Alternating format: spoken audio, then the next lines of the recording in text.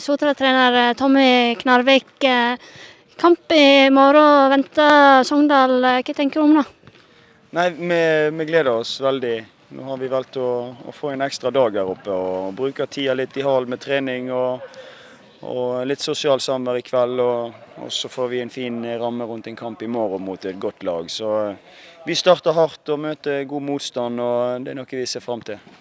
Mm. Det første det blir, De har fått inn litt nytt og sånt. Kan du fortelle litt om det?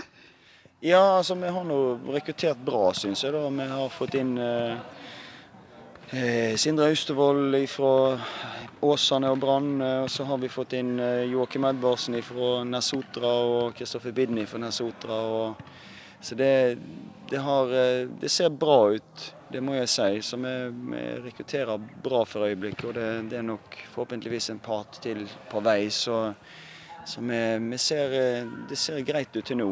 Og så, så, er vi de som vi allerede hadde fra før av òg begynner å se enda sterkere ut òg. Så, så, grunnlaget for at, ja, at vi kan få en god sesong ser bra ut. da. Hva tenker at nå blir Post Nord og ikke Norsk Tippingligaen til neste år? Det var jo tett og jevnt helt på slutten der. Hva tenker du om det? Nei, altså jeg tenker jo at det er en solid utfordring for oss. Vi kom oss gjennom en, en tøff avdeling i fjor i tredje, der det var mange gode lag. Det er ikke mindre dårligere lag nå, for å si det sånn. Så vi har et arbeid å, å gjøre. og men som jeg sa i stad, vi, vi, rekrutterer bra, og de spillerne vi allerede har òg er på vei til å bli enda bedre. Så, så grunnlaget for at vi kan få til noe, den, det syns jeg er til stede. Så vi gleder oss til kamp i morgen. Så gleder vi oss òg til resten av preseason der vi får målt krefter med, med gode lag. da.